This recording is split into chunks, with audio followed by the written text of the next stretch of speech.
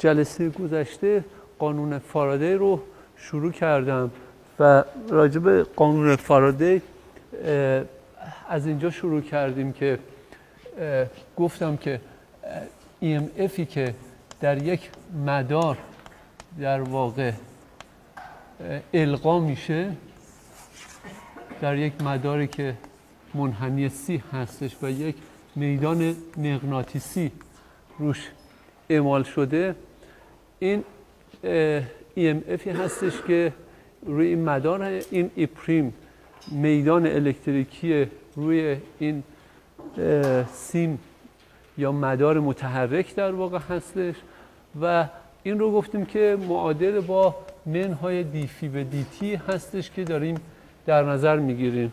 و از اونجا که به صلاح گفتیم که تبدیلات گالیلئی رو در نظر گرفتم اون دیفی به دیتی رو می‌تونستم توی مختصات در واقع دستگاه ساکن در واقع بنویسم و نهایتا به این جواب در واقع رسیدیم. وقتی که این رو بس در واقع دادیم این انتگرال روی سطر رو که بی دات ان دی ای بود این دی و دی تی رو رفتم روی بی که تابع از مکان و زمان در واقع هست.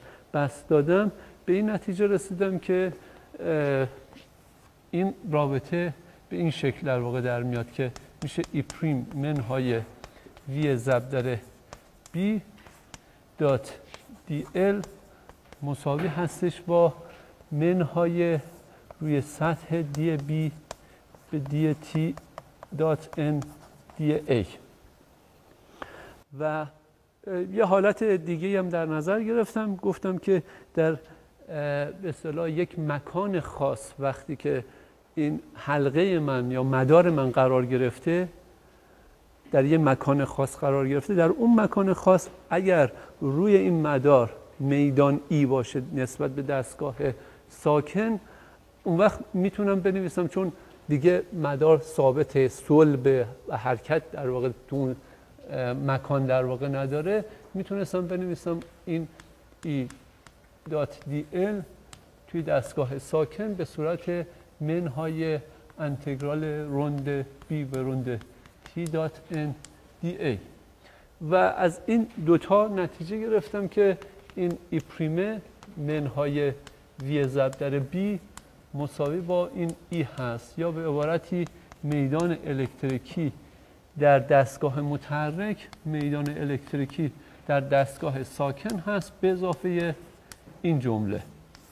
پس در واقع با این صحبت هایی که جلسه قبل در واقع کردم نتیجه کلی که به دست میاریم این هستش که اگر بخوایم EMF رو در واقع من به دست بیارم در یک مدار یا می‌تونم به این صورت بنویسم. در دستگاه مثلا ساکن آزمایشگاه در دستگاه آزمایشگاه بنویسم انتگرال این EMF هست انتگرال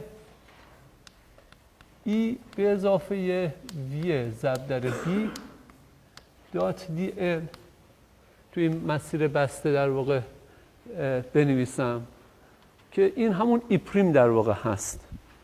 این همون ای پریمه بنابراین تو دستگاه ساکن باید بنویسم در اون نقطه خاص ای چیه بی در واقع چیه تو رو مدار و بعد این حساب بکنم که به طوری که این ایه میدان الکتریکی که اینجا نوشتیم در واقع ترکیب دو تا میدان در واقع بود اگه یادتون باشه. یکی میدان کولونی یکی میدان اندیوس در واقع بود که کرل اون قسمت اول ای کیو صفر اما کرل ای آی صفر نیست. این بخش القایی در واقع هست. بنابراین این شامل دو تا میدان در واقع میشه تو این رابطه که اینجا نوشتیم. یا اگر بخوایم تو دستگاه به صلاح متحرک بنویسیم در دستگاه متحرک این به صلاح EMF هستش ای پریم دات دی ال یا اینطوری می نویسیم یا اونطوری در واقع می نویسیم که منظور از این ای پریم همون چیزی که باز اینجا نوشتیم به این صورت هست. پس برای پیدا کردن EMF دو تا کار می‌تونیم بکنیم. یا اینکه در دستگاه ساکن مسئله رو حل بکنیم یا در دستگاه متحرک. بر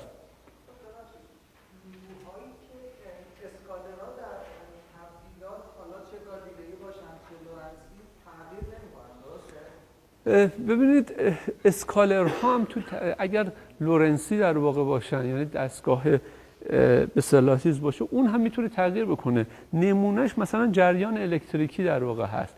توی دستگاه نسبیتی. ولی توی دستگاه گالیلئی تغییر نمی‌کنه. اینجا توی دستگاه گالیلئی ما داریم حل می‌کنیم. بنابراین داریم میگیم که جریان تغییر در واقع نمی‌کنه.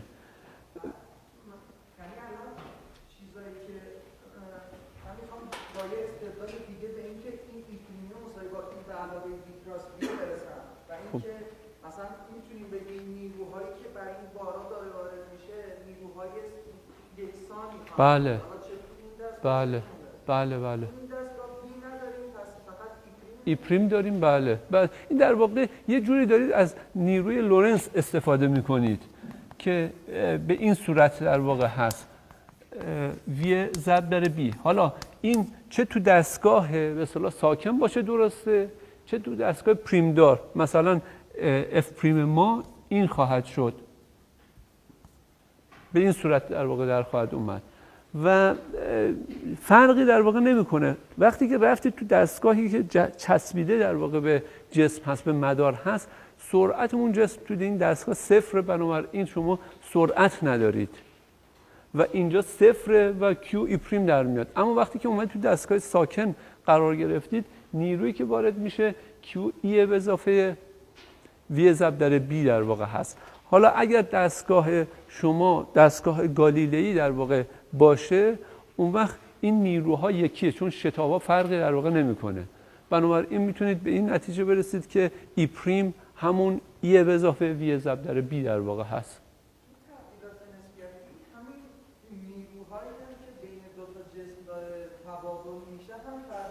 بله تغییر می‌کنن. منتها تو هر کدومشون تو دستگاه خودشون این رابطه رو در واقع دارن. معمولا توی نسبیت معمولا با این F کار در واقع نمی‌کنم بلکه با momentum کار dp به dt کار می‌کنم و از روی اون در واقع تبدیلات رو می نویسم ولی اگر بخوایم با نیرو هم کار بکنه نیروها فرق می‌کنه توی این دستگاه. هر به اصطلاح شکلی که در واقع شکل معادل لورنس توی هر دو به دستگاه برقرار متو تو همون دستگاه باید بنویسی این رو. اینجا چون ما تبدیلات گالیلئی در واقع داریم این فرقی در واقع نخواهد کرد چون تبدیل تبدیلات ساده ای در واقع هستش. خب پس من ببینید صحبتی که در واقع کردم این هستش که می‌تونم نیروی محرکه رو یا از این رابطه یا از این رابطه استفاده کنم پیدا بکنم. به عنوان مثال حالا قبل از اینکه مثالمو در واقع بزنم بذارید یه نکته ای رو اینجا به صلاح استنتاج در واقع بکنیم. اونم این هستش که این رابطه ای که اینجا در واقع من نوشتم این رابطه ایدات دی الی که اینجا نوشتم توی دستگاه سکون که بود منهای انتگرال روند بی به روند تی این بود. این رو می‌تونم به یه شکل دیگه در واقع بنویسمش. این سطح S بود که توسط مدار C در بر گرفته شده. اگر این رابطه رو من بیام از قانون استوکس یا قضیه استوکس در واقع استفاده کنم E dot dl رو بنویسم curl E dot l این تبدیل به سطح در واقع خواهد شد. و بنابراین میشه curl E به این صورت. اینم اگر بیارم این طرف تساوی به این شکل در واقع در میاد هر دو. و چون هر سطح دل بخواهی که به اصطلاح توسط این سی در بر گرفته شده کاملا اون سطح اس می‌تونه دل بخواه در واقع باشه. یعنی می‌تونه این باشه یا یه شکل این شکلی باشه که همین مرزش در واقع باشه سطح دل بخواه هست.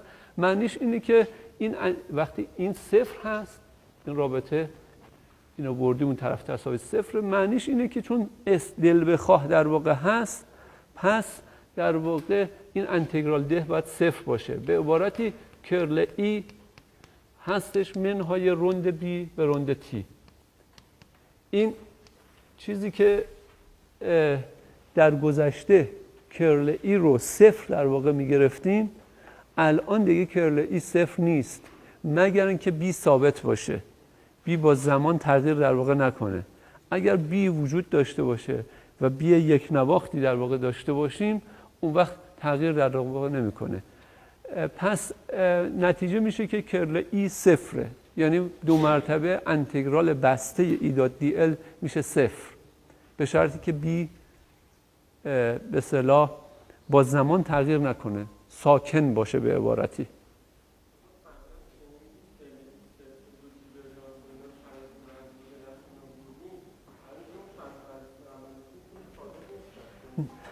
با این, با این شرایط دیگه صادق نیست. باید تغییر بدیم. با همین شرایط که میریم جلو این کارا در میاره. اینا رو می‌خوام در بیاریم. با این شرایط چه اتفاقی میفته چون بالاخره باید موج از این به بعد هر حرف بزنیم. بعد از این داستانهایی که داریم میگیم داریم به معادلات ماکسول داریم نزدیک در واقع میشیم. این اولین تصیب بود که برای حالت به اصطلاح کرل ای مساوی با صفر در واقع رسیدیم که این تصحیحش روند بی به روند تی در واقع هستش که این جمله هم باید وجود داشته باشه.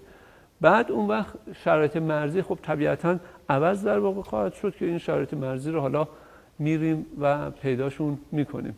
پس این یکی از معادلاتیه که داریم تو همه دستگاه ها هم درسته. یعنی اگر بخوام تو دستگاه مثلا پریم دار بریم فقط کافیه که به جای ای پریم به جای ای ای پریم بذاریم به جای بی هم بی پریم در واقع بذاریم. و این رابطه به صلاح شکل واحدی در واقع داره توی دستگاه های مختلف. خب پس این رابطه رو من اینجا به دست آوردم که حالا ازش استفاده خواهم کرد تو خیلی از جاها. بذارید یکی دو تا مثال از این قانون فارادهی در واقع بذاریم که تفسیر ما تو دستگاه های مختلف یه خورده روشن بشه که چی در واقع هستش.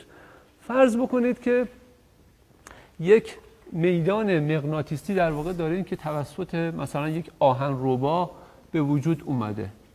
یا آهن روبا فرض کنید آهن روبای این شکلی هست. یه میدان مغناطیسی در واقع داریم.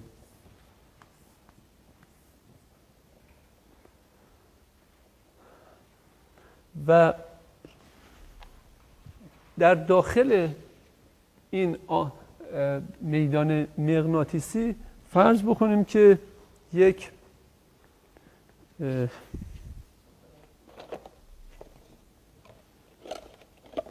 در داخل این میدان مغناطیسی فرض بکنیم که یک میله یه میله قرار گرفته به موازات این سطوح مثلا آهنربا. یه میله به طول ال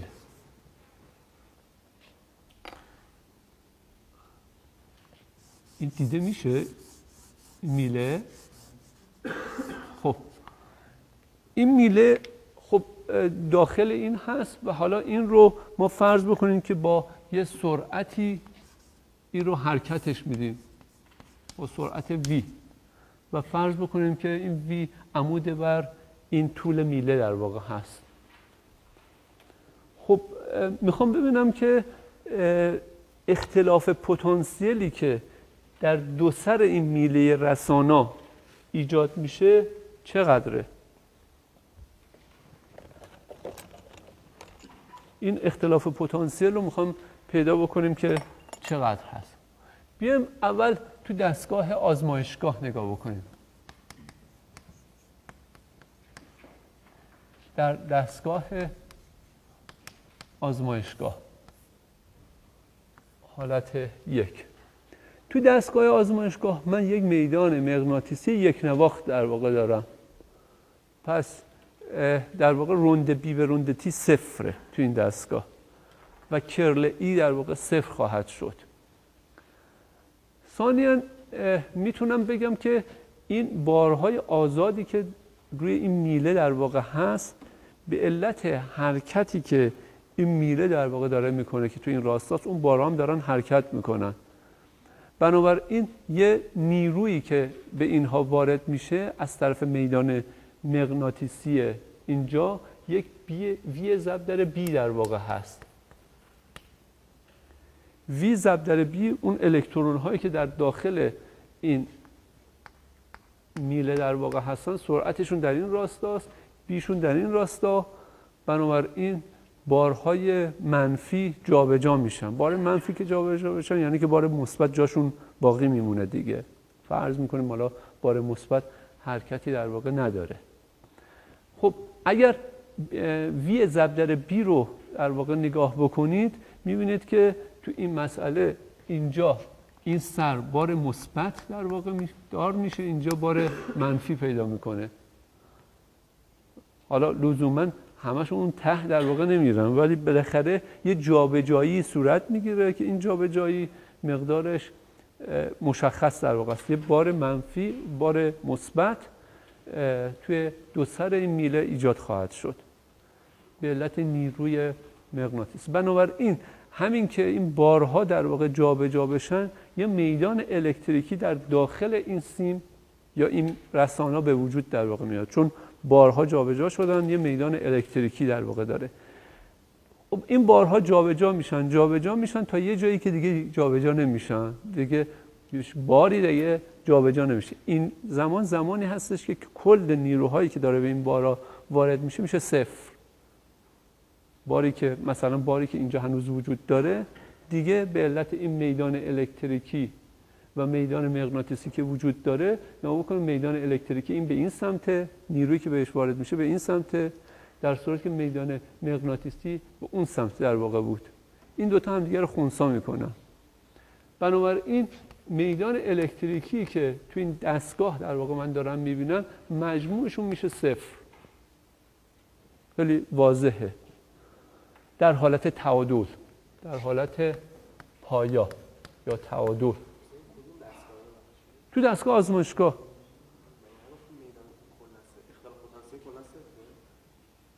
نه اختلاف پتانسیل من نگفتم صفره در دستگاه آزمایشگاه هستیم. این تو این دستگاه آزمایشگاه این شروع کرده به حرکت. و داریم می‌بینیم که این بارهایی که اینجا در واقع هستن در حالت پایا کل نیروهایی که بهشون وارد میشه صفره. دو تا گفتیم که نیرو وجود داره. یکی نیروی ناشی از این جابجایی بارهای اولیه اون حالت اول که شروع کردیم حالا بارها جابجا شدن بعد بعد از یه مدت اینو به تعادل در واقع می‌رسن بارهایی که اون وسط موندن دیگه جابجا نمیشن. بنابراین چیزی که در واقع داریم این هستش که میدان الکتریکی که اینجا هستش به این بارهایی که اینجا هستن نیرو در واقع وارد می‌کنن و میدان مغناطیسی هم که از قبل در واقع نیرو وارد می‌کرد الان هم داره نیرو وارد می‌کنه. این دوتا مجموعشون میشه صفر. درسته؟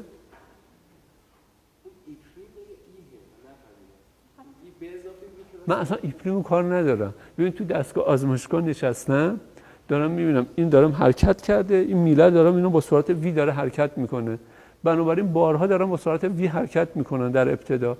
بعد یه جابجایی اتفاق میفته این نیرویی که ناشی از میدان الکتریکی هست با نیرویی که ناشی از میدان مغناطیسی هست این همون قانون به اون قانون لورنس دیگه. F مساوی با Q پرانتز باز E به اضافه V ضرب در B در این حالت F صفره. دیگه باری جابجا در حالت پایا اینه دیگه. یه دارم توضیح میدم که چرا این اتفاق میفته یعنی میدان الکتریکی در ابتدا که وجود نداشت وقتی این ساکن بود. همین که حرکت کرد در یه لحظه خیلی کوتاه این بارها جابجا میشن میدان الکتریکی در داخل اون به وجود میاد و در نهایت اینه که این نیروی لورنسی که اینجا وجود داره صفر در واقع خواهد شد. و معنی این این حرف این هستش که میدان الکتریکی که اینجا وجود داره مقدارش هست منهای V ضرب در B.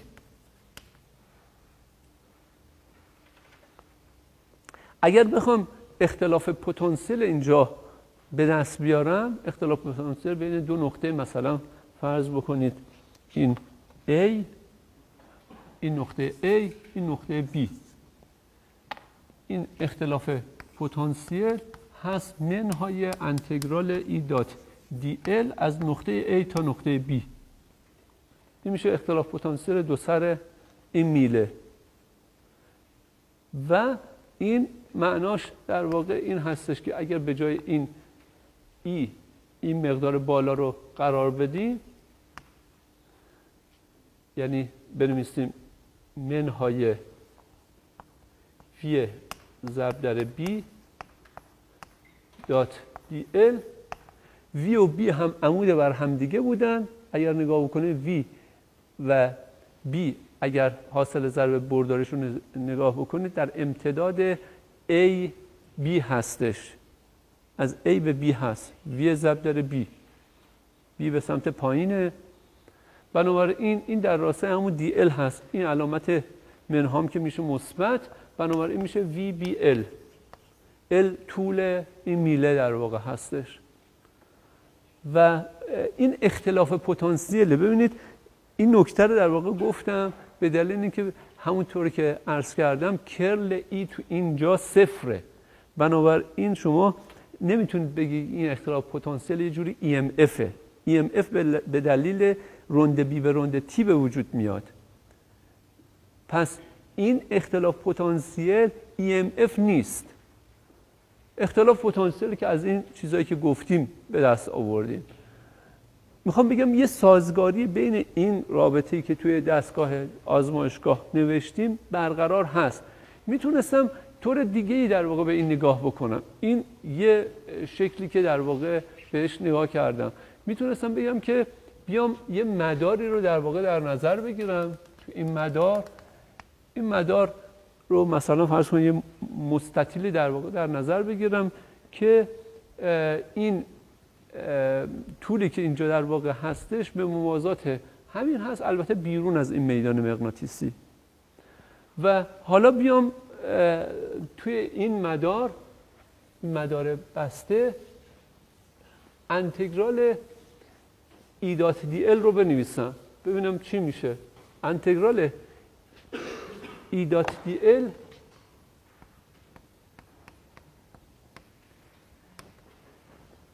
انتگرال ایدات دی ال باید چی بشه توی مسیر بسته؟ توی این دستگاه مختصات؟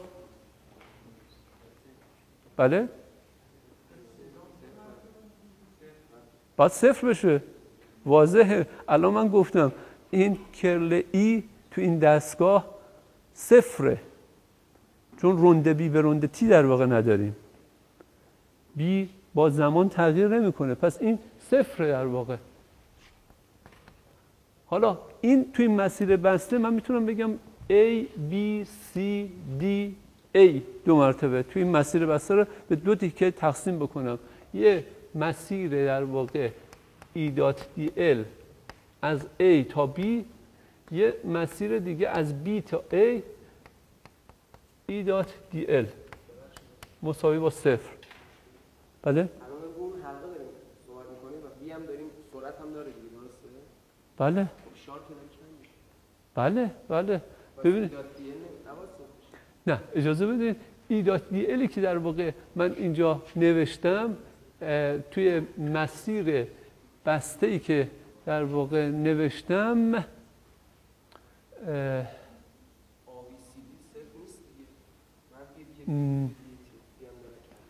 توی آها این اگر حرکت در واقع نکنه درسته. حرکت نکنه درسته. ولی چون داره حرکت می‌کنه من ببینید الان اینو توضیح در واقع میدم که چیه. منظور از این حرفی که در واقع من زدم این هستش که اگر شما فرض بکنید که این حرکت نکنه. همین چیزی که شما دارید میگید. سرعت در واقع نداشته باشه و یه مسیر بسته در واقع بگیریم مسیر بسته مشخص تو این حالت. روند بی به روند تی صفر در واقع هست بنابراین. این انتگرال ایداد دی ال در واقع صفر خواهد شد و این نتیجه در واقع میده. و این معنیش اینه که اختلاف پتانسیلی که اینجا پیدا کردیم توی این نقطه ای که اینجا در واقع هستش همون اختلاف پتانسیل بین اون یکی مسیر در واقع هست. یعنی به اینکه چیز بستگی در واقع نخواهد داشت. اما اون چیزی که شما در واقع دارید میگید اگر بیام من به صلاح دیفی به دیتی رو این شاری که دنبالش در واقع شما هستید این رو اینطوری بگیرم. این رو مثلا این این امتداد رو در یه نقطه فیکس انتخاب کردم.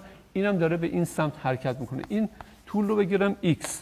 چون x رو مکان رو همیشه نسبت به یک نقطه ثابت شما در نظر می‌گیرید دیگه.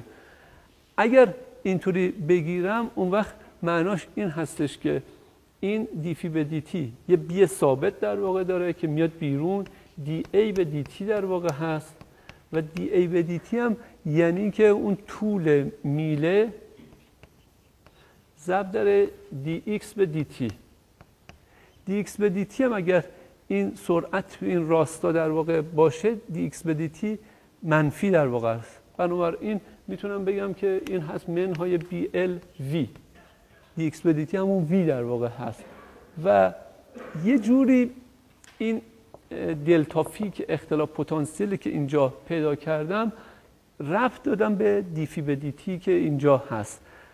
به عبارتی این رو نشون دادم که هست منهای d phi به dt این رو اینجا به این شکل در واقع به دست آوردم که این رو از حالت پایا در واقع شروع کردم.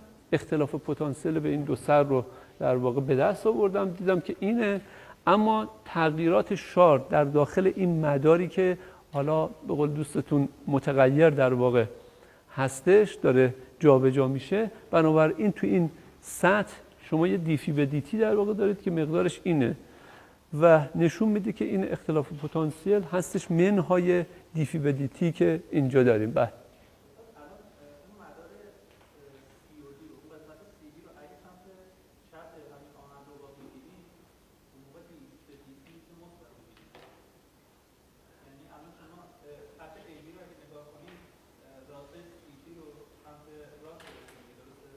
اینجا گرفتم دیاره آره.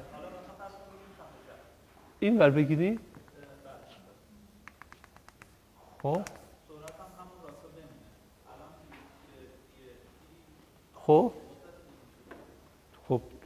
چه؟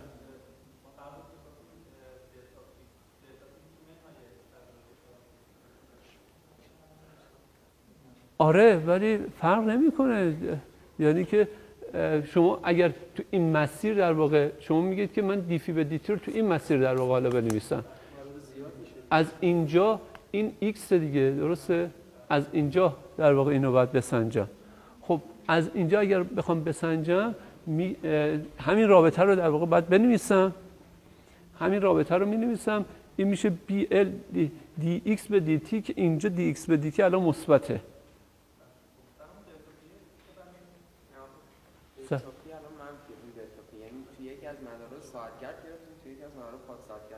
این چیزی این نکته چیزی در واقع نداره.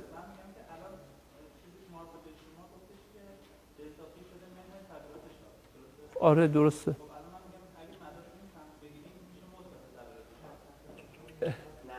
نه نه نه نه نه. اصلا در واقع اینطوری در واقع نیست. ببینید اگر توجه در واقع بکنید من تو این تو این مداری که در واقع من رسم کردم اومدم گفتم که میدان الکتریکی یا اختلاف پتانسیلی که اینجا پیدا کردم تو این مسیری که اینجا رسم کردم اینطوری فرض کنید رسم کردم. و اختلاف پتانسیلی که دارم می نویسم دارم میگم اختلاف پتانسیل از این نقطه منهای این نقطه که میشه مثبت. و بعد تو این مسیر که در واقع دارم میرم میگم دیفی به دیتی پس این مسیری که در واقع دارم میرم از مسیر درست از همین جهتی که در واقع کشیدم. بنابراین دیفی به هم که نوشتم اون هست پس این خواهد شد. حالا اگر بخواید تو این یکی چیز بکنید منفی در واقع خواهد شد. بنابراین جهتش معکوس اون یکی در واقع خواهد شد. اونا خود به خود اون به صلاح مسیری که برای یه چیز در نظر می‌گیره اون رو به شما میده. اون مشکلی در واقع نداره.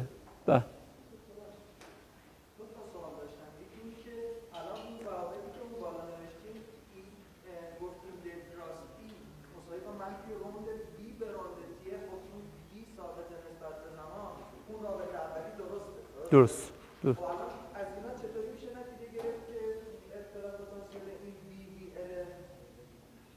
اختلاف پتانسیل این چی؟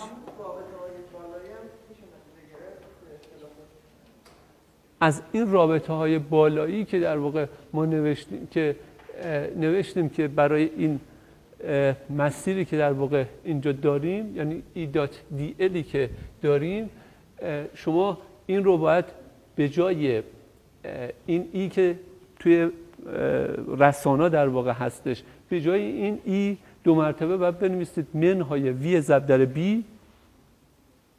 به جای این بعد بنویسید. و این نتیجه در واقع میده که اگر مثلا فرض بکنید که حالا این مسیرتون این قسمت هاش این قسمت هایی که موازی با وی هستش فرض کنید ریلای رسانه در واقع گذاشتید اختلاف پتانسیل بین این نقطه و این نقطه وجود در واقع نداره. این مسیر رو اینطوری در واقع بستید. اون وقت معناش اینه که اختلاف پتانسیلی که اینجا هست با اختلاف پتانسیلی که اینجا هست دقیقا یکیه. معناش اینه.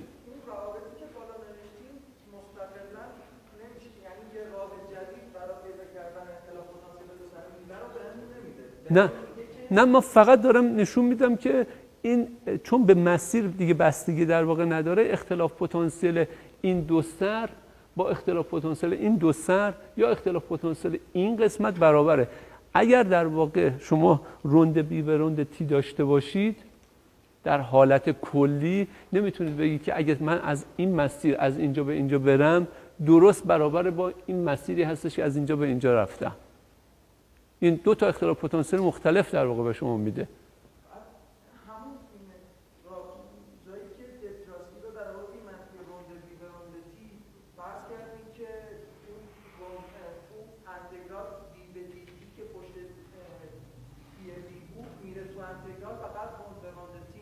درست. یعنی و, این در صورتی که بی داد دل بی صفر باشه. درست. بی داد دل بی وقتی صفر که بی ثابت همه این روابطمون یعنی فقط وقتی ثابته که بی ثابت باشه نگه مدارمون با سرعت متغیر حرکت بکنه چی؟ باز هم دلتراستی میشه منفی رو بی ببینید تو اون رابطه در این که اگر چیز باشه یعنی شما این معادلاتتون معادلاتی که اینجا دارید معادلات نسبیتی در واقع هستش. یعنی توی نسبیت هم در واقع فرقی در واقع نداره که این ببخشید. ای. این ایه هر دو بی نیست. در هر دو وضعیت چه کلاسیک در واقع شما در نظر بگیرید چه نسبیتی در نظر بگیرید این معادلات دستی در واقع نمی‌خوره. چرا؟ تا اینجا نسبیت که داریم نسبت خاصه در واقع. سرعت ثابته اینجا. سرعت رو دست نمی‌زنیم. این شتاب دهنده در واقع نیست اینجا. مسئله شتابگیری در دستگاه مختصات در واقع نیست. اینجا یه دستگاه مختصاتی هست که با سرعت وی داره حرکت می‌کنه. حالا چه نسبیتی چه غیر نسبیتی در واقع باشه؟ تو سرعت ثابته. همه این حرفایی که ما زدیم برای این سرعت های ثابت در واقع بود. اصلا ما سرعت رو تغییر در واقع ندادیم. یعنی رابطه ای که در نوشتیم برای سرعت ثابت در نظر گرفتیم. بنابراین ببینید نکته که من داشتم می‌گفتم این بود که یک بار از طریق حالت معمولی بیام بگم که در داخل مثلا این رسانه یه اختلاف پتانسیلی در واقع هست. این اختلاف پتانسیل اینجا به دست بیارم. یا اینکه دیفی به دیتی رو حساب بکنم اینطوری هست. یا اینکه بگم که این حالت این حالتی که دیوی به دیتی در واقع نداریم انتگرال بسته ایدات دی ال میشه صفر توی مسیر بسته ای که در واقع توی این شکل در واقع من دارم. در یه وقتی که این میله در یه جای خاص در واقع قرار گرفته من رو این یه مسیر بسته در واقع می‌زنم. و بعد حالا درست همون صحبت هایی که جلسه قبل کردم. توی این مسیر بسته شما می‌دونه دی بی بدیتی ندارید چون الان توی این دستگاه دی بی بدیتی صفره در واقع. بنابراین دیگه معناش در واقع این هستش که شما انتگرالتون رو از A تا B اختلاف پتانسیلش رو حساب کنید یا از B تا A حساب کنید فرقی در واقع نخواهد کرد. مقدارش یکی در واقع اینو ببرید اون طرف و بعد دو مرتبه جای این دوتا رو عوض کنید. بی و ای رو عوض بکنید. همین خواهد شد. منتها این تو این یکی مسیره این یکی تو این یکی مسیر هست. این در حالت کلی برقرار نیست. در حالت میدانهای ساکن برقرار بود که شما اختلاف پتانسیل از این نقطه و این نقطه رو حساب می‌کنید تو این مسیر می‌رفتین یه چیزی می‌شد. تو این مسیر هم می‌رفتین همون چیز در واقع به دست می آورد اما اگر متغیر در واقع باشه میدان ها دیگه به صلاح متغیر با زمان باشن. شما اگر اختلاف پتانسیل به این دو سر رو تعریف بکنید ای دات دی ال تو این مسیر بگیرید و همین دو نقطه رو توی مسیر دیگه انتخاب بکنید کاملا متفاوت در واقع در خواهد اومد. یه چیز دیگه در واقع به دست میاد. بنابراین به مسیر بستگی خواهد داشت تو این حالت. اما در حالت ایستا نه به مسیر بستگی نخواهد داشت.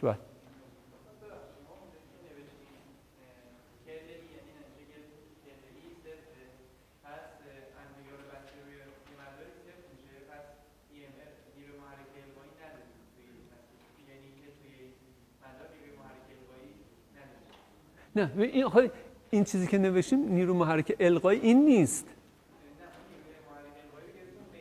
نه نیروی م... آها ببین من ابتدای جلسه اتفاقا همین رو صحبت کردم. گفتم اگه تو دستگاه ساکن باشید نیروی محرک القایی E dot dl نیست توی مسیر بسته. بلکه هست E به اضافه V ضرب در B. تو دستگاه متحرک هست E پریم dot dl. بنابراین من این چیزی که اینجا نوشتم نیرو محرک القایی نیست که نوشتم صفر. این بعد درستش من اصلا این رو نخواستم برای نیروی محرک القایی در واقع بنویسم. نیروی محرک القایی تو این دستگاه ساکن هست. این این ابتدای جلسه وارد کردم. اینه در واقع. این میشه EMF که این غیر صفره. این بخشش ای دات دی الش میشه صفر. اما این قسمت باقی میمونه. وی زد در بی که این مقدار همون بی وی الی هستش که اینجا ما به دست آوردیم.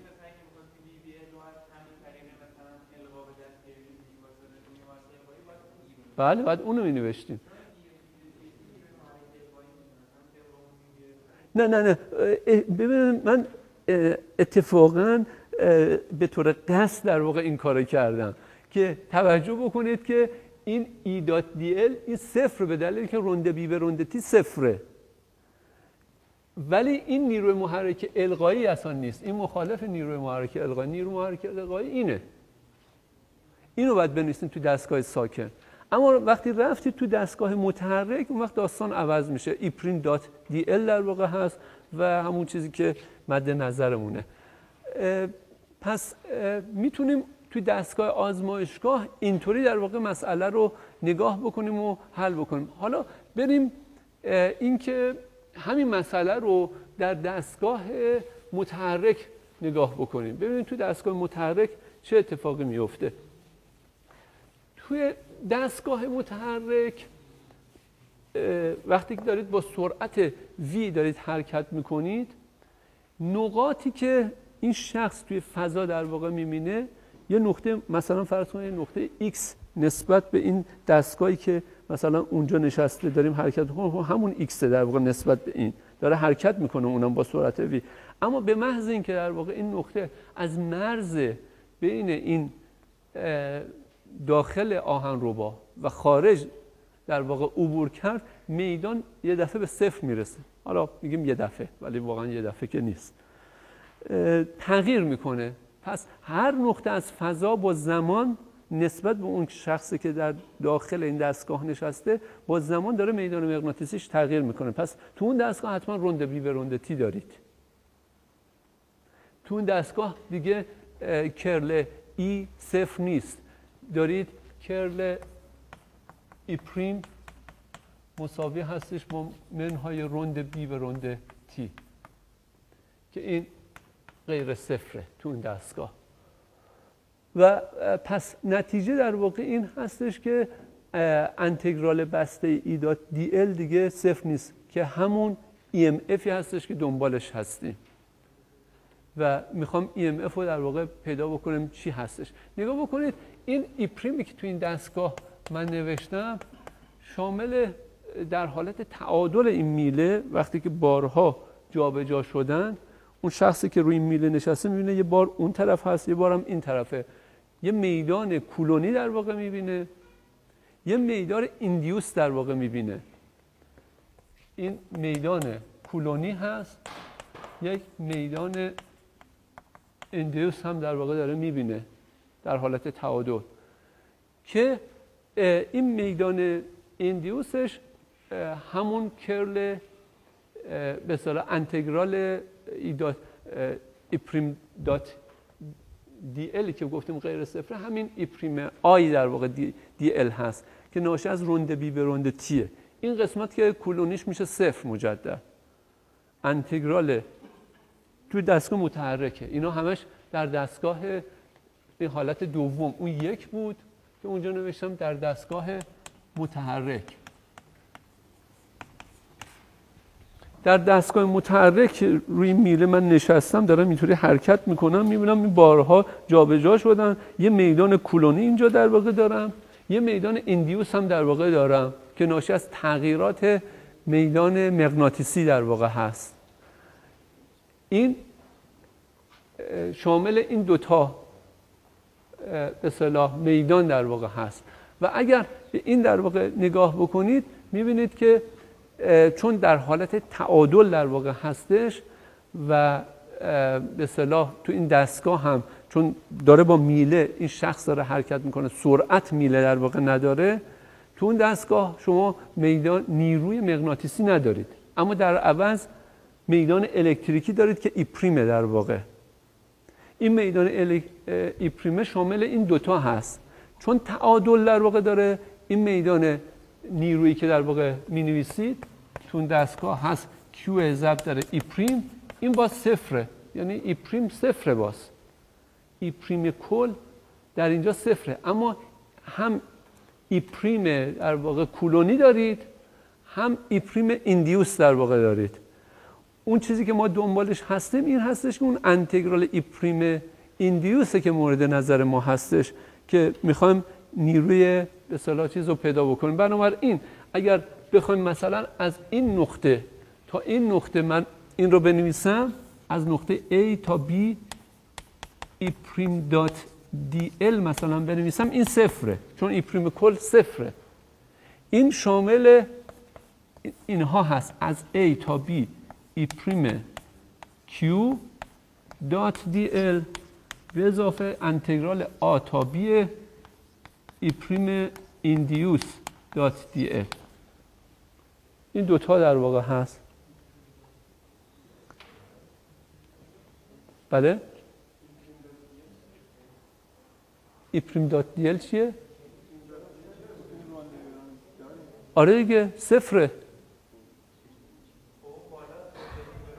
این مسیر بسته نیست ها توجه بکنید از A تا B در داخل این میله در داخل این میله این ایپریم نیروی هست ایپریم میدانی هست که این بارهای داخل رسانه دارن می‌بینن. دو تا میدان داره بهش اعمال میشه. یه میدان ناشی از در واقع اون بارها کولونی ها در واقع. یه میدان ایندیوس که ناشی از تغییرات بی و زمان در واقع هست. در داخل ببین من اون مسیر بسته نکشیدم. نوشتم از A تا B یعنی تو همین مسیر میله در واقع فقط نوشتم. اون حتما صفره.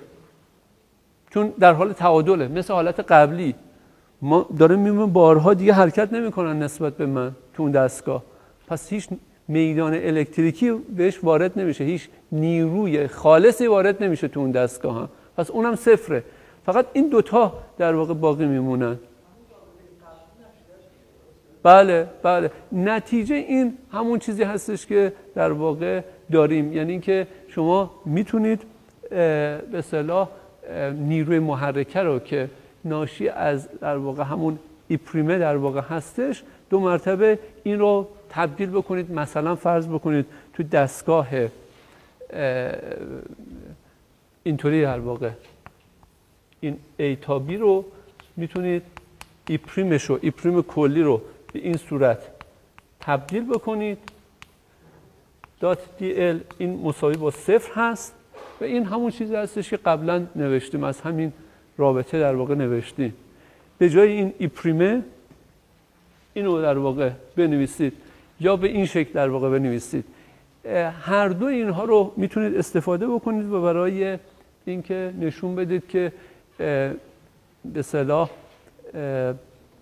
توی این رابطه توی این چیزی که در واقع دارین E dot dl در واقع چی هستش؟ E dot dl اینجا که صفر E dot dl مساوی با منهای انتگرال B dot وی ضرب در بی هست. همین چیزی که اینجا نوشتیم. از صفر بودن این. و بعد وی و بی هم که تو دستگاه ساکنه اینا ببینید بدون پریم اینجا نوشتم. به جای ای پریم نوشتم ای به اضافه وی ضرب در بی از تبدیل دستگاه مختصات استفاده کرده. می‌تونستم مستقیما در واقع اینا رو حل در واقع بکنم. حالا از هر طریق در واقع مسئله رو حل بکنید باید بگید که اختلاف پتانسیل تو این دو تا دستگاه در واقع فرقی در واقع نداره. یه جوری یکسان هستش. بذارید این مثال حالا مثال یه خورده بعضی چیزاش آموزنده در واقع بود و می‌تونست کمک بکنه می‌تونه کمک بکنه برای اینکه تو دستگاه مختلف شما چطور نیروی محرکه رو در واقع حساب کنید؟ یا از یه دستگاه چطور می‌تونید به دستگاه دیگه ای در واقع برسید؟ بذارید یه مثال دیگه هم من باز بزنم. مثال دو. فرض بکنید که حالا یه دیسک در واقع دارید. یه دیسک در واقع دارید که حول محورش داره میچرخه.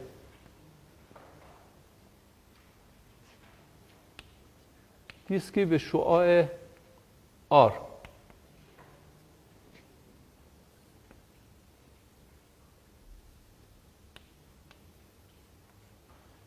این دیسک جز خامت هم داره دیگه.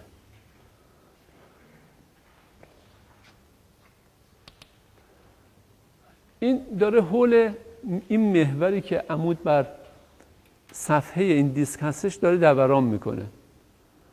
و یک میدان مغناطیسی هم ثابت روی این وجود داره.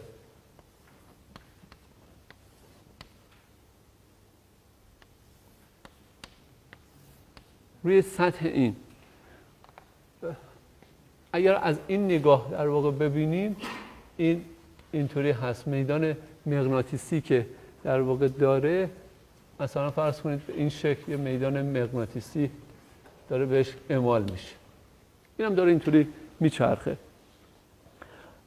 می‌خوام ببینم که اختلاف پتانسیلی که به علت چرخش این بین مرکز و به صلاح این مرز این دیسک به وجود میاد یعنی لبه های این دیسک لبه های این دیسک چه اختلاف پتانسیلی در واقع به وجود میاد.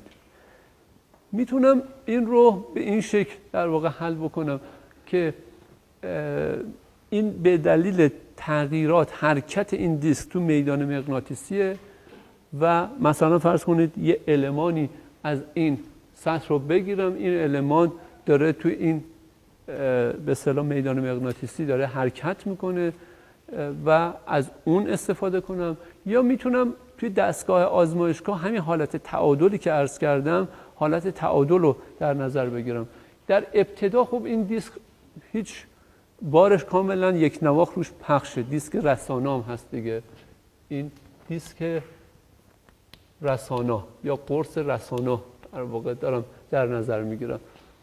همین این میدان وقتی داره حرکت می‌کنه یعنی سرعت در واقع داره.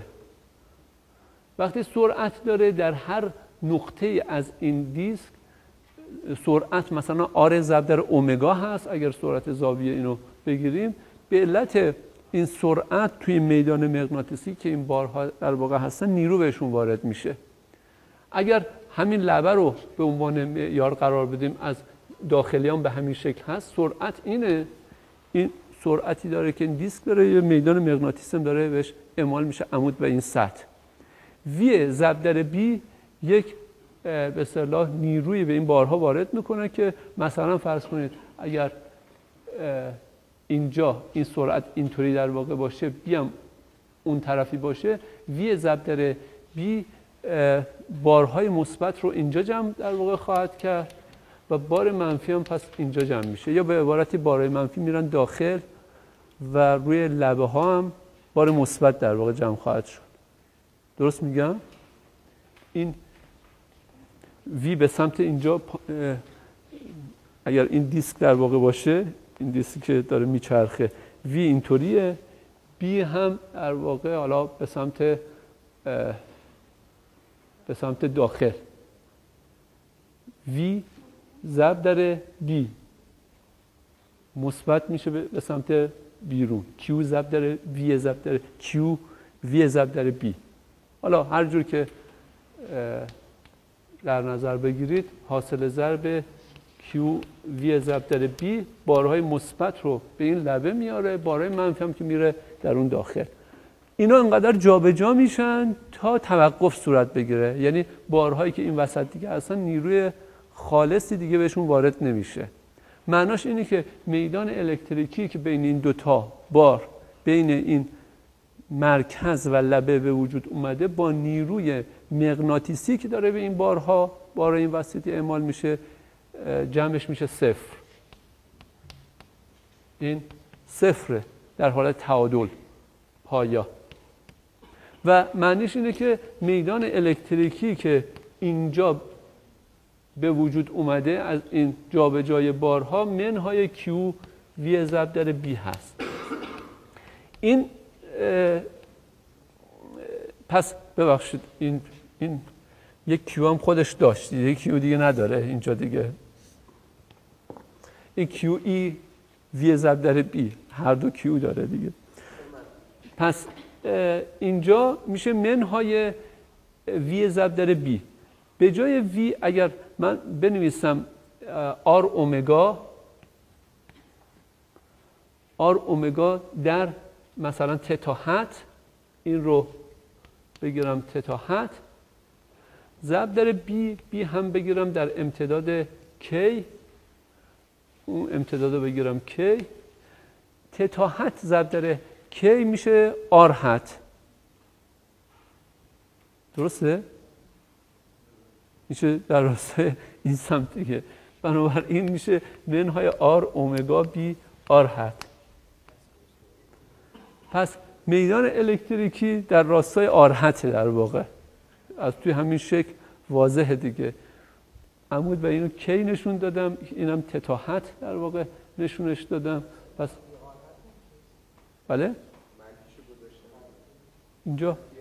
اینه دیگه. اینه اینجا بله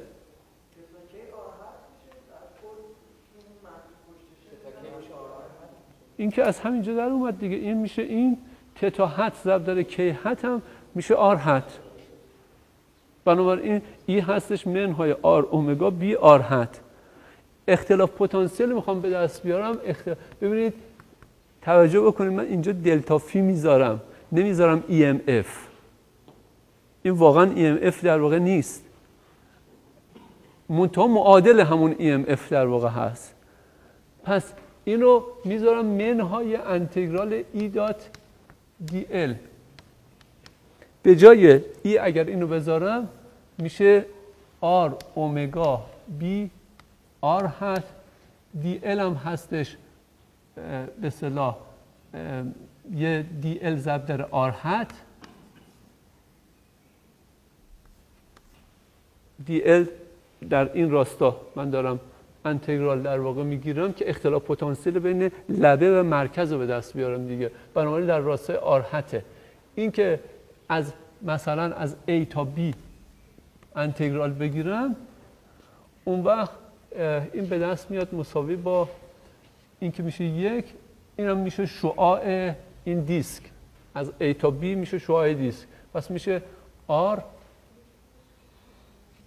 ببخشید. ببخشید. این R آری که اینجا نوشتیم آر متغیری در واقع هستش دیگه. پس این دی ال همون دی آره چون چیزایی که اینجا در واقع هستن سرعت های مختلفی دارن. من این رو به طور کلی وی رو نوشتم آر اومگا. اینجا یه آر اومگا اینجا یه آر اومگا. بنابراین در هر نقطه که در واقع داریم میدانی که داره به هر عنصری که بار اینجا هستش داره وارد میشه مقدارش سرعت در همون نقطه در واقع هست. پس این آر متغیره. اینجا میشه بی. اومگا آر دو دوم. آر دو دوم پس میشه بی اومگا آر دو تقسیم بر دو. آر از صفر تا آر هستش دیگه. پس توجه بکنید که هر باری که در داخل این دیسک در واقع هستش در یه فاصله آر مشخصیه که باید انتگرال روش گرفته در واقع بشه. و بنابراین به این دلتا فی در واقع ما تونستیم برسیم که این رو می‌تونیم توی دستگاه متغیر هم در واقع حل کنیم مثل همین چیزی که اینجا گفتیم. و این اختلاف پتانسیل رو بگیم که نیروی EMF یا نیروی محرک EMF در واقع هستش.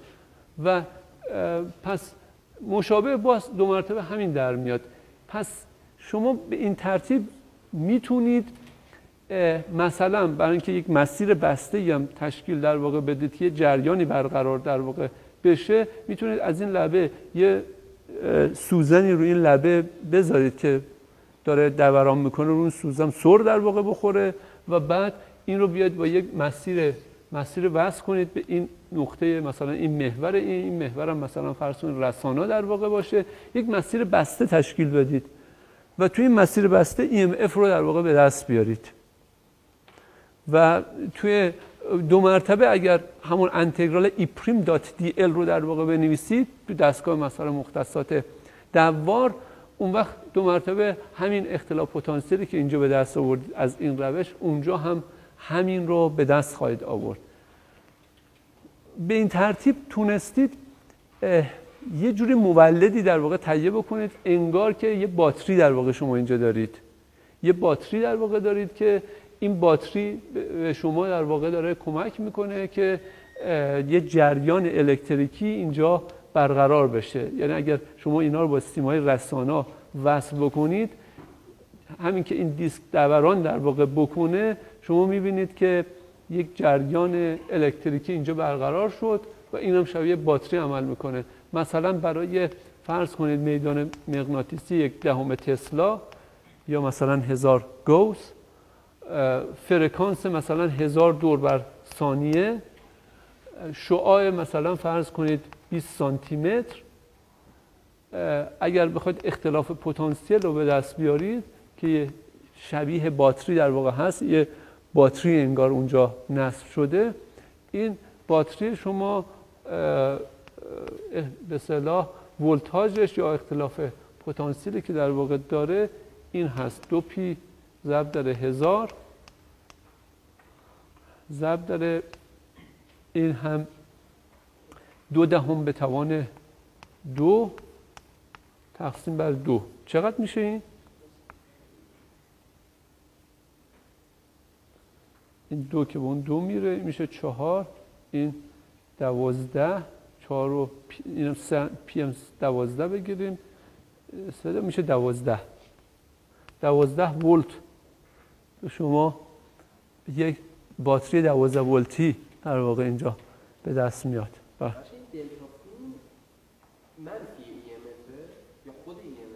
منفی EMF منفی اون در واقع در میاد. همیشه معمولا اینطوری در واقع هست که از این طرف که در واقع میره BLV در واقع در میاره از اون طرف که میره قدر مطلق اونو باید بذارید. منفی اون در واقع در خواهد اومد. توی تمام محاسبات همین چیز دیده در واقع میشه. بر بله. اینجا ما یه توی مثلا قبلی یه مدار مستطیلی بررسی کردیم ولی اگه مدار دلخواه می‌خواستیم بررسی کنیم ویژگی این آبی که اینجا در نظر گرفتیم در واقع این بود که توی اون محور عمود بر سرعت بیشترین طبقه مختصر داشته باشن دیگه. درسته. یعنی برای هر مدار دلخواهی هم این دو تا نقطه بگیریم باز همه این بله فرق نداره. این همون کار رو در واقع می‌تونیم بکنیم. و علل اصول فرق نداره. ببینید تو حتی توی این مسئله من یه خورده ساده سازی هایم انجام دادم. ساده سازی این بود که مثلا فرض کنید بیر وی رو عمود بر این گرفتم. در صورتی که می‌تونه یه جهت دل بخواهی در واقع داشته باشه. میشه. بله آبیتون عوض در واقع خواهد شد. یا مثلا بیتون رو عمود بر میله در واقع گرفتم.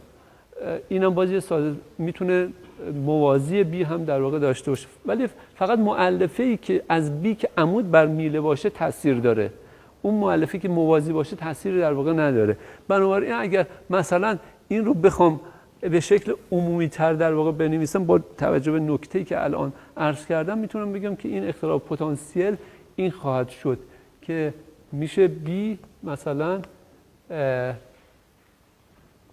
دات وی وی ضرب در ال یه همچین چیزی یا ال ضرب در وی به طوری که اولا معلفه عمودی بر ال تأثیر گذار باشه. معلف نظر بی فکر کنم بعد باشه در عوض آبیامون عوض میشه برای نه نه این نکته ببینید اینجا می‌خوام بگم که معلفه عمودی V عمود بر L L این بردار رو گرفتم معلفه عمودی اون تاثیر در واقع داره که تو این کراس در واقع اون چیزی که شما دارید میگید با یه چرخش همون چیزی که گفتیم به دست میاد چون رابطه رو در واقع خوندید. من می‌خوام این قسمتش رو در واقع نشون بدم. وی که عمود بر ال ال در واقع تاثیر داره. و حاصل ضرب این دوتا معلفش در راستای بی تاثیر داره. اه، که اه، که این مؤلفه این دوتا در راستای وی یعنی تو این راستا. پس اگر مؤلفه در راستای مثلا عمود بر این داشته باشه تاثیر در واقع نخواهد داشت. حالا اینو میشه به صلاح همون شکل درستش در واقع عمل کرد و همین رابطه رو به دست آورد. ولی الان با توجه به نکته که گفتم به راحتی می‌تونیم بگیم که اختلاف پتانسیل یه جوری متناسب با این حاصل ضرب برداری ها هست که حالت ساده ترش اون شکلی هستش که اینجا نوشتیم.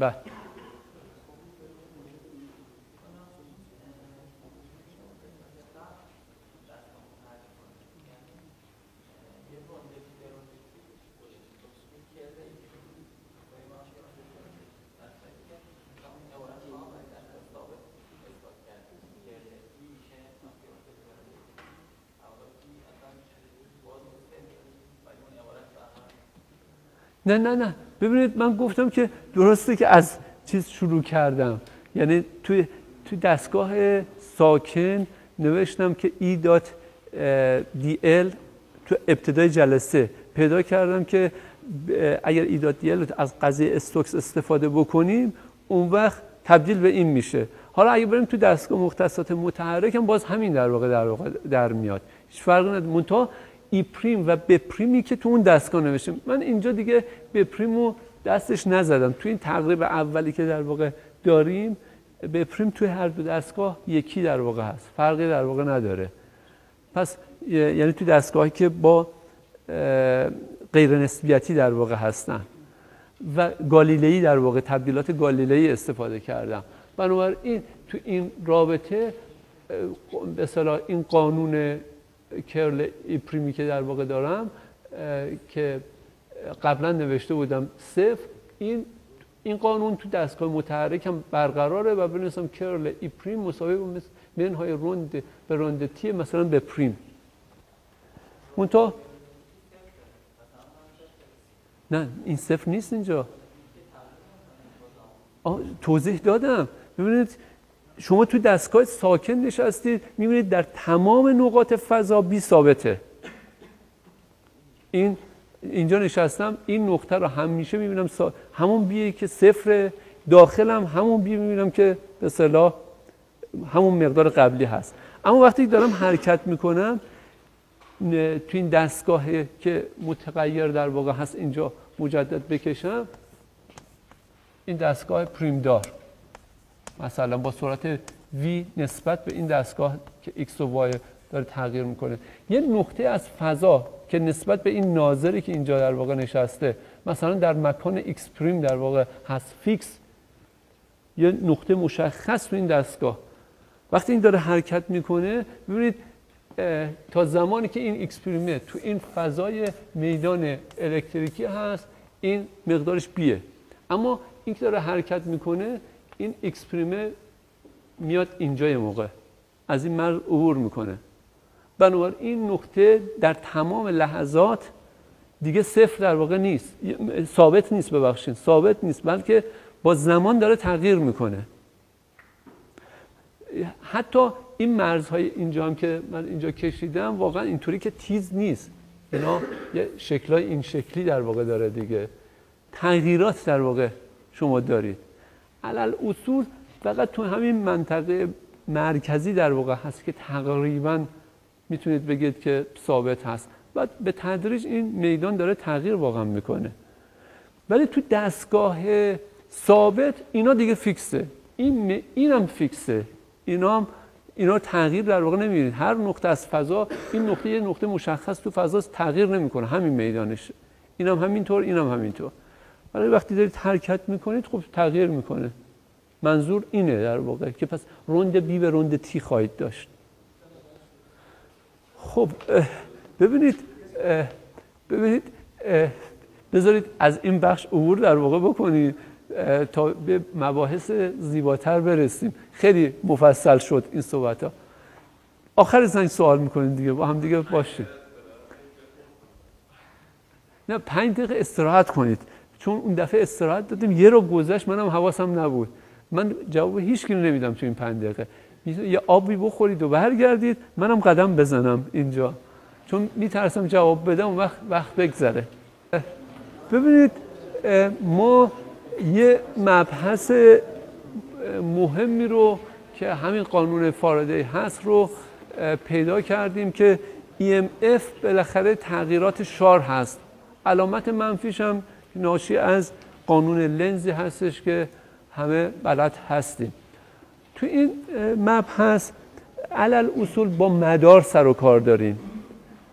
مدار وقتی که جریانی توش به وجود در واقع میاد خب این جریان ناشی از اگر تغییرات شار مغناطیسی در واقع باشه تغییرات شار مغناطیسی که یک میدان مغناطیسی به این مدار اعمال شده باشه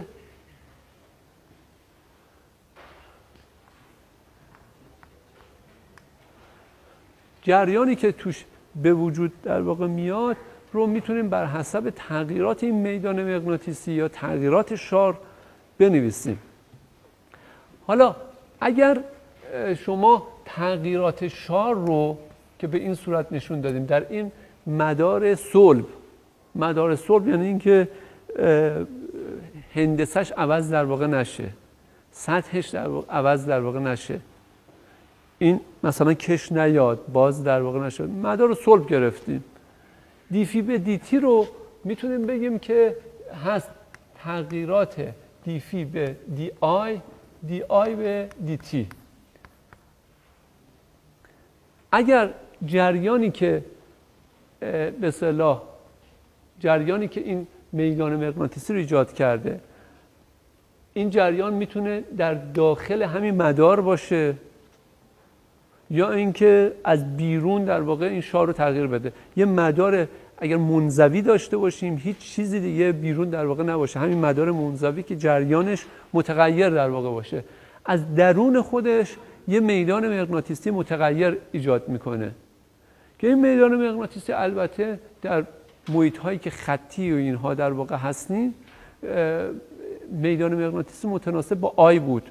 قبلا هم اگر یه جریان آی در واقع داشتیم بی که ایجاد می‌کرد بود آی دی ال ضرب داره نیروش در واقع می‌شد این و بی هم که در واقع ایجاد می‌کرد قبلا یاد گرفته بودیم اون انتگرال مثلا J ضرب در R منهای R prime تقسیم برای یا به جای J dV I dl می نوشتیم متناسب با I در واقع بود.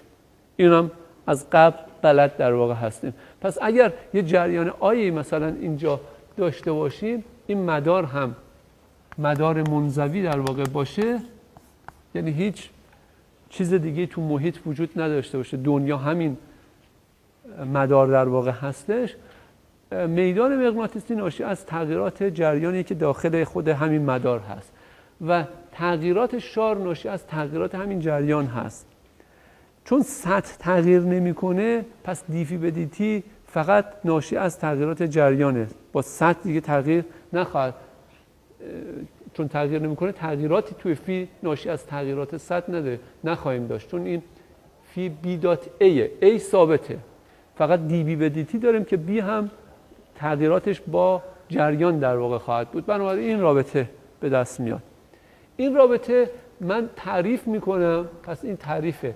d فی به dI رو که برای یک مدار منزوی تعریف می‌کنم ضریب خود القا اسمشو می‌ذارم L این ضرب در dI به dt دی فی به دی تی با علامت منفی می‌شد نیروی محرکه. بنابراین این هست منهای ال دی آی به دی تی پس این ال تغییرات فی نسبت به آی که اگر تو محیط های خطی باشیم ال تعریف کردیم d فی به dI در حالت محیط های خطی همون فی به I خواهد بود چون فی تابع خطی از I در واقع هست. d فی به dI همون فی به I خواهد شد. این پس تعریف ما از ضریب خود القا هست برای یک مدار منزوی. خب چطور می‌تونم این ضریب خود القا رو به دست بیارم که از روش بتونم EMF تعیین بکنم؟ این به روش های مختلفی طبق تعریفی که در واقع داریم از ال که هست فی به آی شار به جریان یا تغییرات شار که اصلش اون هستش در این محیط ها محیط هایی که خطی هستن تبدیل به فی به آی میشه به راحتی می‌تونیم این کار رو بکنیم. به عنوان مثال فرض کنید که مثلا فرض کنید یه چنبره من داشته باشم. تو این چنبره این دور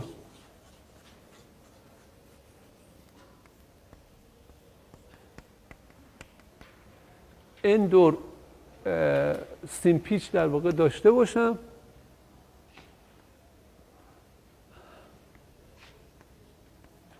این دور سیمپیچ تو این چنبره داشته باشم. بخوام ضریب خود القای این چنبره رو حساب کنم. یه مداره تک مدار در واقع هست.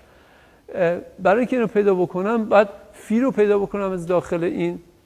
فی از میدان مغناطیسی در میاد. ضرب در سطح بکنم و تقسیم بر جریانی که از داخل این بکنم میشه الش برای اینکه بی رو پیدا بکنم قبلا یاد گرفتیم که چیکار بکنیم. توی این مسیر بسته می‌تونیم بنویسیم h.dl مساوی با ni پس تو مسیر بسته h.dl مساوی با ni هست. H هم هستش b تقسیم بر میو صفر بنابراین b در داخل میشه n i میو صفر تقسیم بر l l هم طول کل این مسیر در واقع هست که با ال نشونش دادم. یا دو پی آر.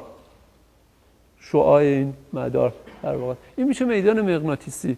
میدان مغناطیسی که اینجا در واقع داریم. این ان تا حلقه داره. وقتی که شار در داخل این با علت تغییرات آی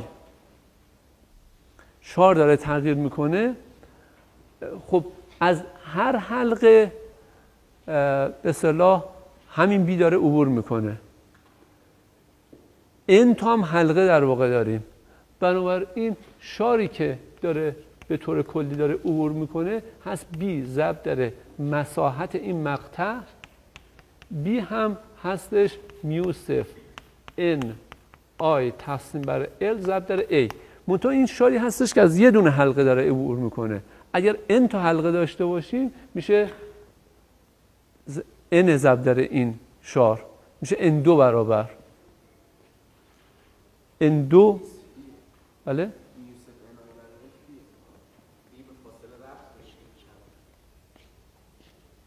B اینه دیگه. B اینه. B اینه دیگه این مگه بین دو پی R ه دیگه این L همین دو پی R ه. این L ی که من اینجا کشیدم طول این هست. و فرضم کردم که با به فاصله خیلی تغییر نمی‌کنه. این شعاع رو این شعاع رو خیلی از ابعاد خود این خیلی بزرگتر گرفتم. بنابراین این بی تقریبا یک نواخت در تمام نقاط فرض کردم. پس ببینید این فی این دو خواهد شد. چون این تا حلقم در واقع داریم. یا به عبارتی می‌تونم بگم که به ازای هر چرخشی که در واقع داریم یه EMF در واقع القا میشه. این EMF ها با هم دیگه جمع میشه. N تا EMF در واقع داریم. N ضرب داره یه E1 چون اینا مثل باتری های هستن که به صورت سری مثلا وصل شدن به هم دیگه پس N تا از اونها میشه N2 اینجا رو N2 خواهد کرد. پس این میشه فی کل. در خلا گرفتم. هسته درش نه. نه آره من فعلا دارم خلا رو بررسی می‌کنم. می‌تونید به صلاح تبدیلاتی که قبلا هم داشتیم از خلا مثلا به چیز تبدیل بکنید. مهم در واقع نیست. بعد بنابراین اگر بخوان یه d فی به dI حساب بکنید L رو به شما خواهد داد. L هست d فی به dI که یا فی به I فرق نداره میشه میو صفر N دو تقسیم بر L ضرب در A. این میشه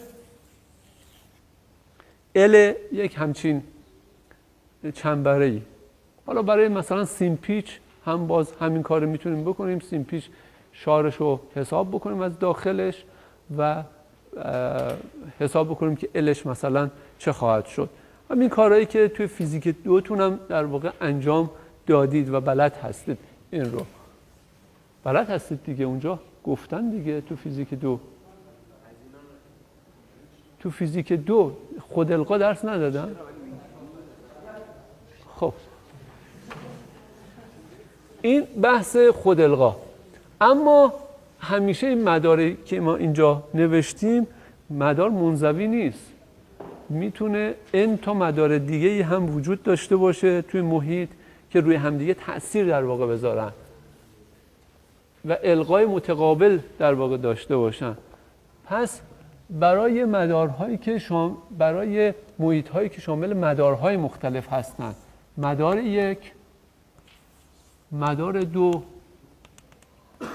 مدار آیوم و مدار انوم. هر کدوم از اینهای جریان آی یک آی دو آی آی و آی ان در واقع دارن. این مثلا مدار آیوم از خودش که این جریان رو داره یه شاری از خودش عبور در واقع میده. این شار ناشی از خودش. میدان مغناطیسی که در واقع ایجاد می‌کنه ناشی از خودش. این یکی یه شاری در واقع داره که یه بخشیش می‌تونه از داخل این یکی عبور در واقع بکنه. مثلا اینطوری در واقع باشه. از این یکی عبور بکنه. این یکی می‌تونه شاری ایجاد بکنه که از داخل این آیومه در واقع عبور بکنه. از بقیه عناصر هر کدوم از اینها می‌تونن روی این آیومه تاثیر بذارن. شار عبور در واقع بدن. بنابراین شاری که از مدار آیوم عبور می‌کنه ناشی از تمام به صلاح مدارهایی هستش که تو محیط وجود داره. شاری که از مدار آیوم عبور می‌کنه هست شاری که از مدار آیوم به علت مدار یک عبور می‌کنه. شاری که از مدار آیوم به علت دو عبور می‌کنه و شاری که از مدار آیوم به علت خودش عبور می‌کنه شاری که از مدار آیوم به علت انومی عبور می‌کنه. این معناش این هستش که جمع روی فی آی جی جی از یک تا ان. این میشه فی آی. پس شاری که از مدار آیوم داره عبور می‌کنه ناشی از شار تمام مدارها در واقع هست که داره عبور می‌کنه. و بعد اگر من بخوام پیدا بکنم که به اصطلاح تغییر شار در مدار آیوم چی هستش؟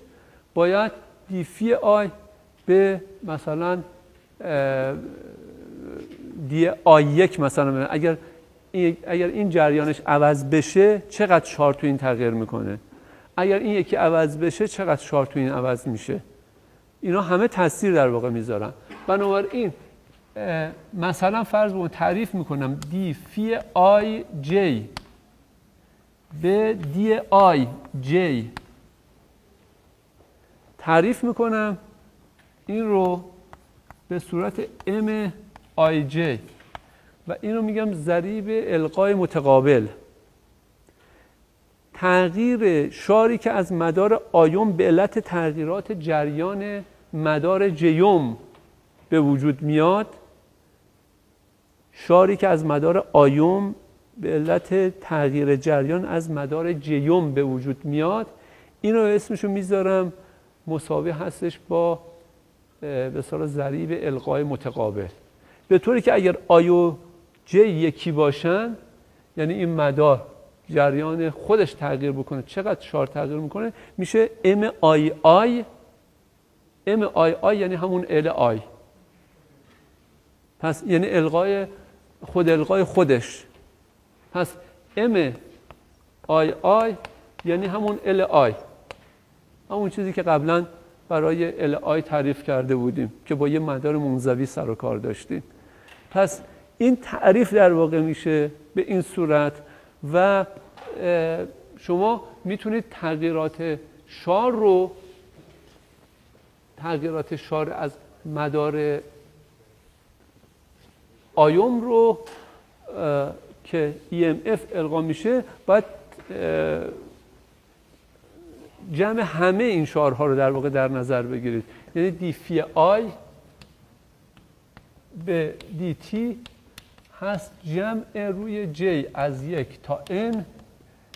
دی فی آی جی به دی تی و این یعنی که جمع روی دی فی آی جی به دی آی جی همه مدارها هم پس تغییرات فقط ناشی از جریان ها در واقع هستش. همه مدارها صلبن سطحشون زیاد نمیشه. پس اگر تغییری وجود داره ناشی از جریان هایی هستش که اینجا نوشتیم. این رو از همینجا نوشتم. دی فی آی به دی تی هست مشتق این نسبت به زمان.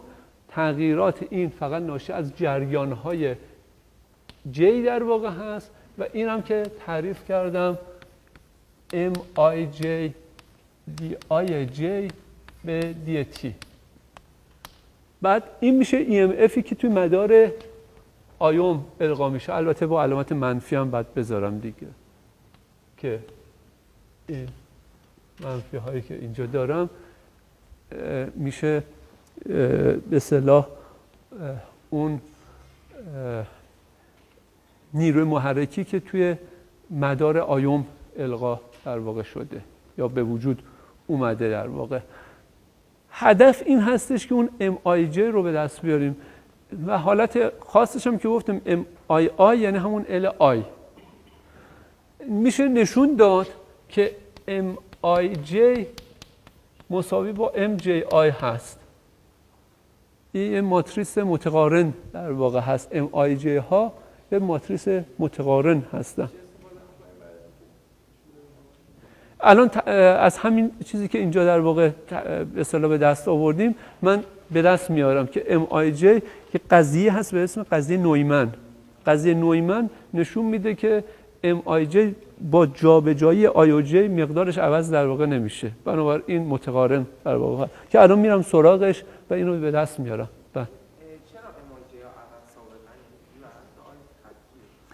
این خطی در واقع هست. این ام ها همش بقیهش میشه هندسه. هندسه جسم در واقع.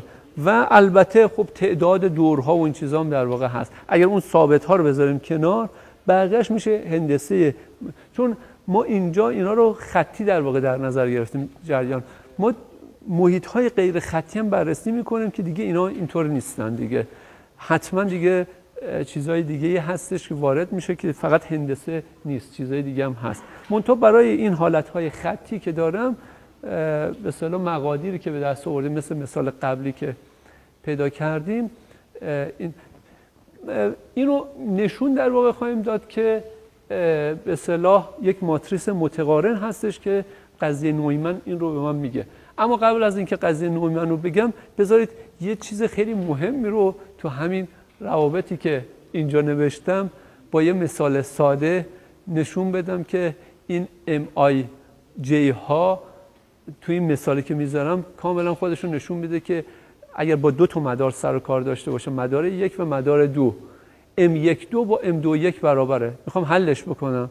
این با یه مثال. بعد میرم قضیه کلی تر که قضیه نویمن هستش رو نشون خواهم داد. پس این برای مدارهای کلی. فرض بکنید که توی مثال قبلی که داشتیم چنبره بود دو مرتبه چنبرمون رو برگردونیم باش کار بکنیم این چنبره. این یک مدار. جریان فرض کنید آی یک تو این برقرار کردم. بعد مدار دومی روی همین میپیچم. یه سیمپیچ دیگه یه چنبره دیگه روی همین میپیچم. به این صورت.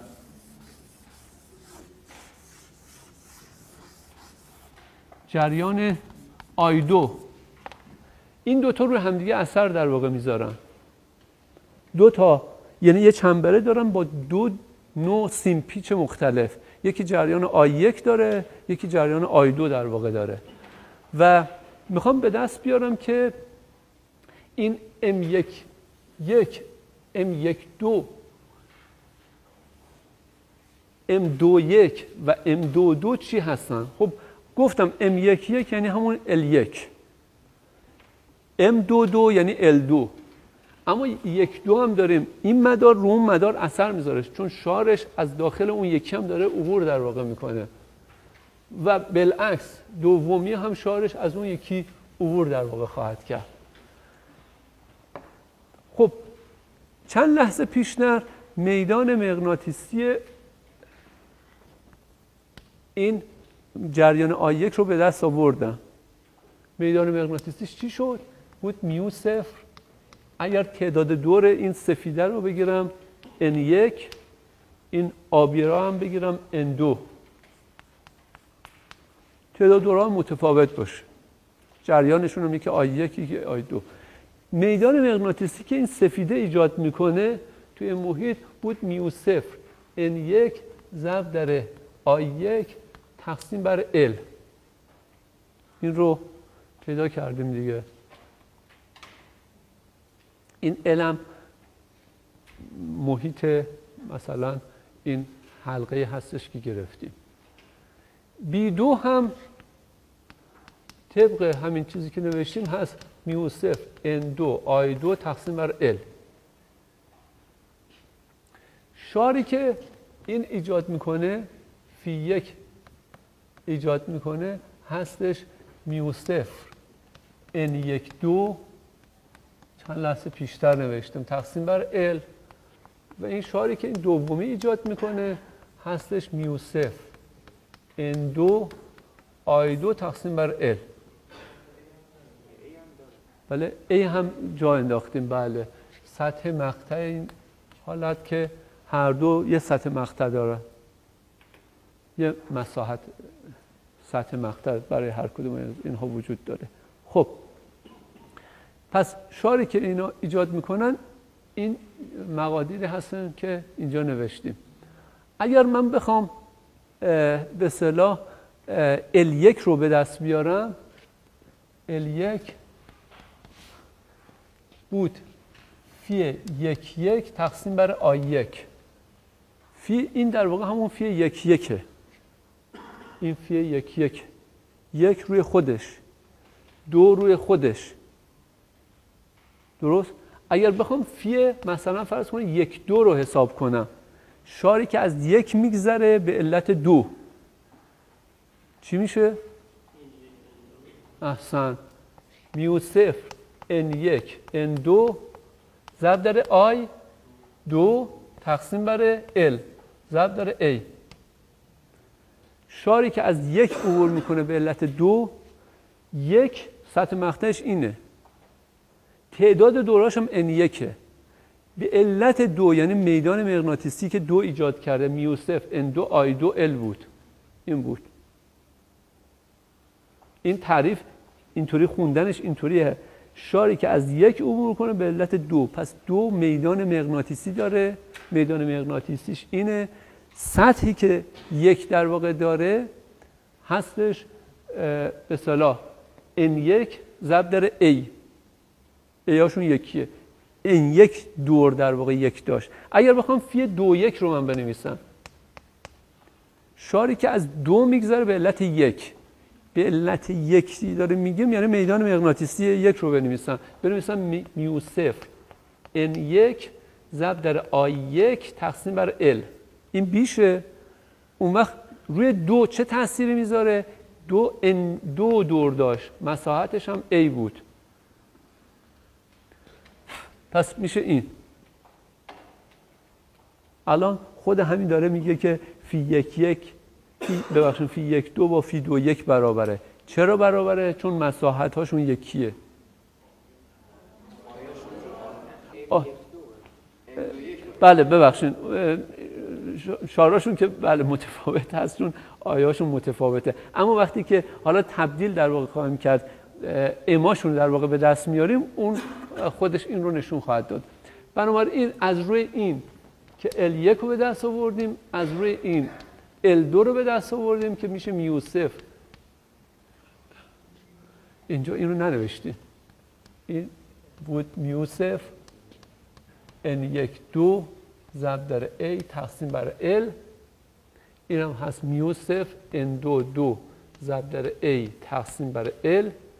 اینجا و بنویسم M12 هست مساوی با فی یک دو تقسیم بر آی دو. ببین اندیس دو رو اینجا می نویسم تو تعریفی که داشتم این دوه در واقع فی یک دو تقسیم بر آی دو. این ام دو یک هست فی دو یک شبیه همین تقسیم برای این اندیس دوم آی یک. این اگه تقسیم بکنید میشه میو صفر ان یک. ان دو تقسیم بر ال ضرب در A و این یکم همون خواهد شد. میو صفر ان یک ان دو تقسیم بر ال ضرب در A که نشون میده تو این مثال ساده این دوتا با هم دیگه برابر هستن. یه جی یعنی یه بار دیگه بگین چی؟ الان ام. آی جی شده تونه مثلا یه اف آی در اف جی بنویسیم یعنی می‌تونستیم جدا کنیم که حالا این اف اینجا مثلا n همون n n یک و n دو و خب این همیشه درسته یعنی همیشه میشه گفت جدول مثل یه جدول ضربی بله حتم توی این محیط هایی که در واقع داریم اینطوریه در واقع. محیط های خطی اتفاق میفته و این رابطه رو می‌تونیم بنویسیم. گفتم بریم یه خورده جلوتر محیط های غیر خطی رو بررسی که بکنیم این اتفاقات نمیفته دیگه. جملات تداخلی دارن و غیره و غیره. ببینید یه نتیجه دیگه هم میشه از اینا کرد. این نتیجه خیلی مهمتر از اینا. اینا که ساده بود. اینا رو شاراشون حساب کردن شاری که این از تو اون عبور میده شاری که اون از تو این عبور میده تقسیم بر جریاناشون اینو ولی یه نکته که اینجا در واقع هست اولا M1 و M1 دو گفتیم توی این مثال با M21 که برابره. اسمشو بذاریم M. این حاصل ضرب این دوتا رو بگیریم M2 رو. این حاصل ضرب این دوتا که این هست میشه حاصل ضرب این دوتا رادیکال. یعنی میشه L1 L2 امش رادیکال خودش میشه این.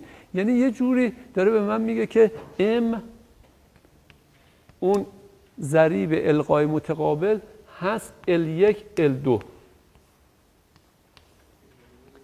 این البته در حالتی هستش که همونطور که توی مثال دارید می‌بینید هر مقدار شاری که این ایجاد کرده از اون یکم عبور می‌کنه. ولی یه موقع تو مثال وقتی مسئله خود این القای متقابل من گفتم گفتم که این مدار می‌تونه کاملا تفکیک از این باشه یه بخشی از این بره داخل اون یکی و همش در واقع نره. پس این در حالت ماکزیموم اتفاق میفته حالت ماکزیموم یعنی هر شاری که این ایجاد بکنه از اون یکم عبور بکنه اون وقت داریم این ضریب القای متقابل هست رادیکال این. در حالت کلی ام هست کا برابر رادیکال L1 L2 که کا البته کوچکتر از یکه.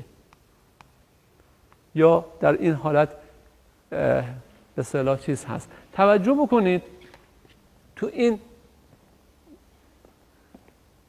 تو این مثال که اینا از همدیگه تفکیک بودن جریان آی یک این جریان آی دو. شاری که این ایجاد می‌کنه ناشی از خودش همش از درون خودش عبور می‌کنه. قبوله؟ درسته؟ شاری که این ایجاد می‌کنه اینطوریه دیگه. مثلا اینا حلقه های بسته هستن دیگه. به خودشون بسته در واقع میشن. بنابراین هر شاری که این ایجاد بکنه از درون خود این عبور می‌کنه.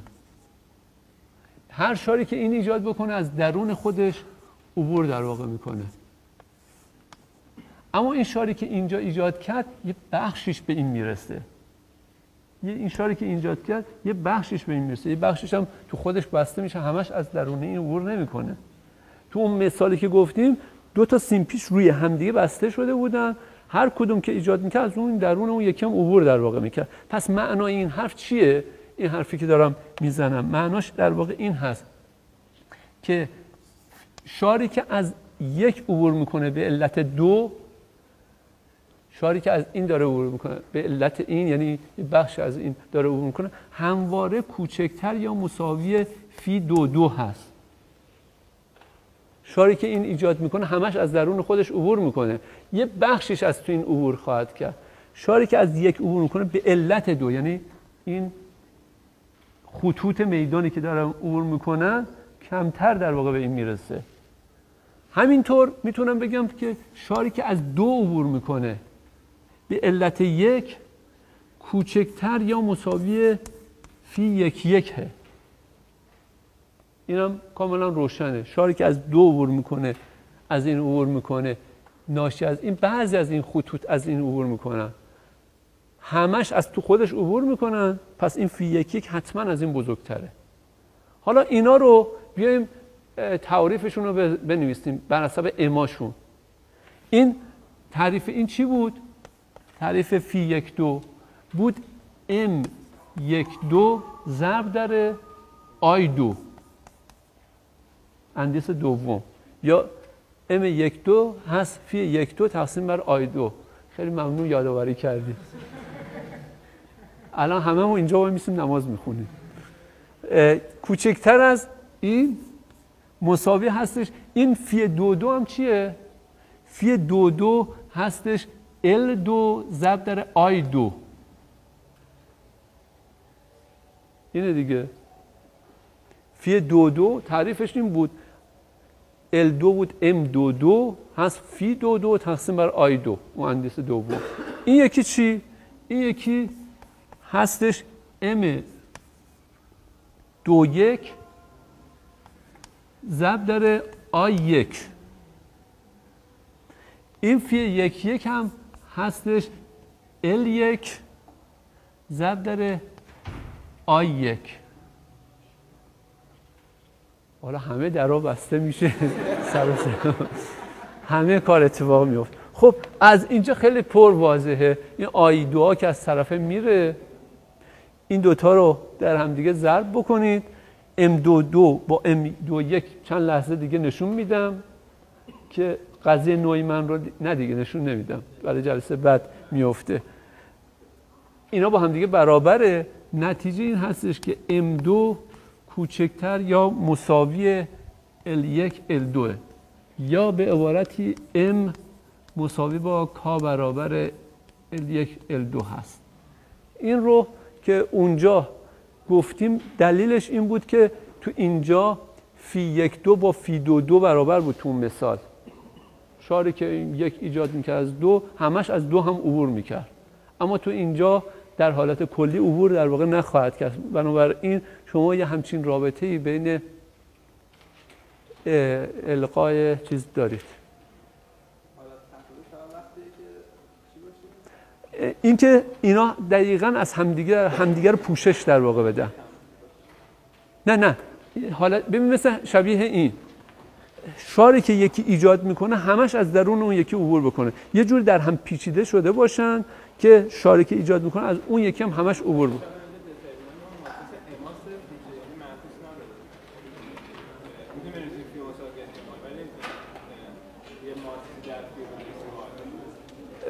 نه. این ام هایی که در واقع داریم توضیح در واقع دادم. اینا متقارن ماتریس متقارن باشه یعنی معکوس پذیر. چی رو من متوجه سوالتون نشدم. چی رو؟ ماتریس ام.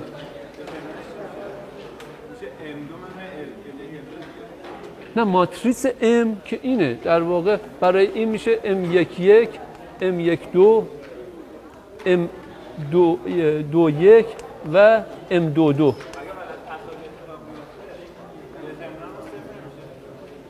اگر این باشه دترمینان صفر میشه آره.